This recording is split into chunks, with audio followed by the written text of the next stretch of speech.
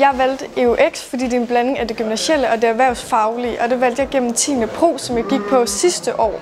EUX Business det er en blanding af det øh, erhvervsfaglige og det gymnasielle, og det kan man se på en hverdag, hvor at vi er på mange flere virksomhedsbesøg og har mange flere virksomhedssamarbejder, hvor vi så kombinerer det med det gymnasielle og øh, det erhvervsfaglige.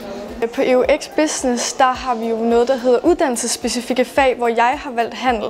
Og der lærer vi meget, hvordan man øh, er ude i en virksomhed, hvor det foregår B2B, business to business, og det er jo også for eksempel, hvor man kommer på virksomhedsbesøg. Øhm, jeg har en idé om, at jeg i fremtiden vil bruge min EUX Business på at øh, få en elevplads som indkøbsassistent, og måske arbejde videre, eller også læse videre på universitetet efterfølgende. Jeg synes, man skal vælge EUX Business, fordi man både får det gymnasielle og det praktiske på samme tid.